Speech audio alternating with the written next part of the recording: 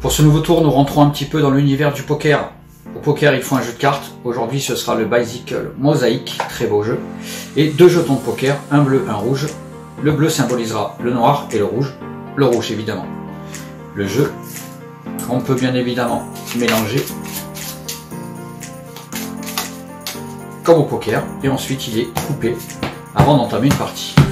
Et maintenant, si on se réfère aux parties de poker, les cartes les plus recherchées sont forcément les As. Et je vous propose de sortir un premier As, qui est l'As de cœur. On va le mettre ici, et comme toute partie de poker, on va mettre le jeton rouge dessus, c'est ce qui se fait régulièrement dans les parties protéger quelque part la carte qu'on a trouvée. Ensuite, lorsqu'on a un As, l'intérêt c'est d'en avoir un deuxième. Et là, assez rapidement, on arrive à trouver un deuxième As. As de carreau. Donc on le met là. Et là, vous vous dites forcément, il va nous faire les quatre As.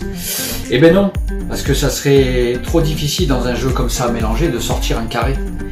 Nous les magiciens, on a plus simple. Il suffit d'enlever le jeton rouge et de mettre le jeton noir, bleu mais noir, de claquer les doigts. Et qu'est-ce qui se passe? Automatiquement, les cartes rouges deviennent des cartes noires. On passe de la paire d'as rouge à la paire d'as noir. Mais, si on en revient toujours au poker, le carré d'as, contrairement à ce qu'on pense, n'est pas la plus belle main. La plus belle main, c'est quoi? C'est, va les poser là, les as, c'est la canne flush royale. Et pour faire apparaître une canne flush royale, c'est ni le bleu ni le rouge, mais c'est les deux en même temps qu'on pose sur le paquet. On claque des doigts.